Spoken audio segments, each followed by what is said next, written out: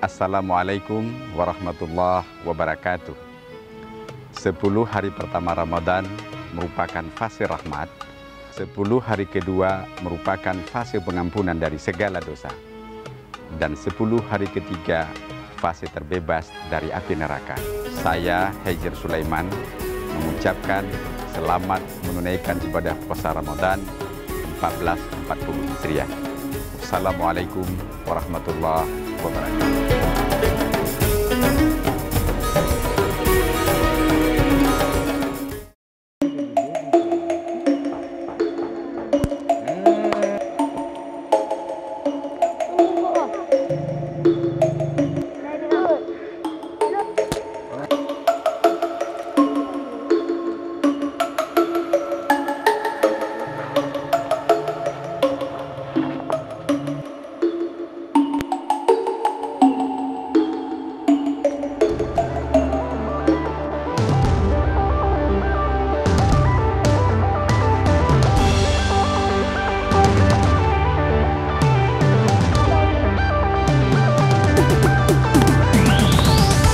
Syederolun gundu atau kelereng merupakan permainan yang pernah sangat digemari di masanya, terutama era 90-an.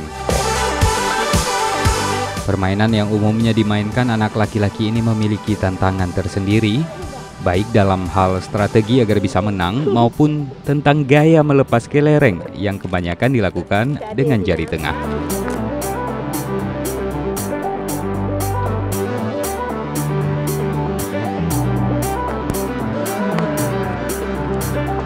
Aktivitas yang mulai jarang kita dapati ini direkam Serambi On TV di Desa Aluraya, Kecamatan Samatiga, Aceh Barat beberapa waktu lalu.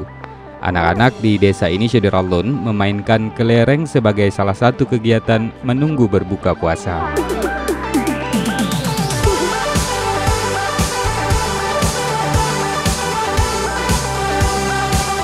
Adapun gundu atau kelereng dibeli mereka dengan harga Rp1.000 untuk setiap 25 butirnya. Model perumahan di pedesaan yang memiliki halaman luas menjadi lapangan terbaik bagi anak-anak ini.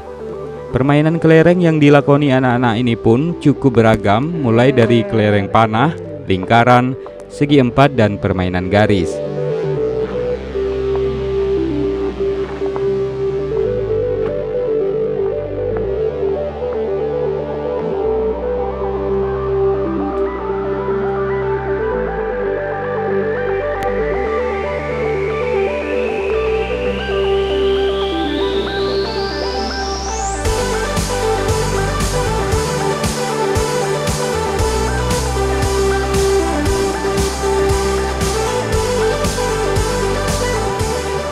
Aja dimainkan? Main kelereng ada beberapa macam.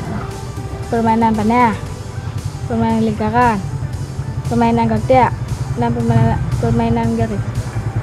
Selama bulan puasa sering main kelereng? Kadang-kadang enggak, kadang-kadang ada. Nah, kenapa suka main kelereng?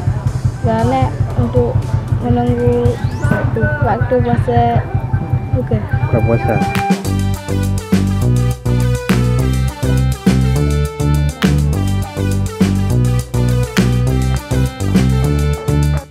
Dan Syederallun, pemain dengan strategi terbaik akan pulang dengan membawa serta kelereng milik teman-temannya.